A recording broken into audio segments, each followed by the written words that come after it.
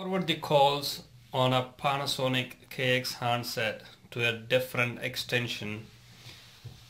I will show you the instruction here. Lift the handset and press star 7102 followed by the extension number.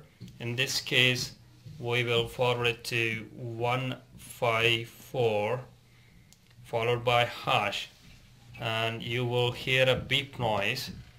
That means your calls are now being forwarded to 154 again to cancel the forwarding lift the handset and press star 7100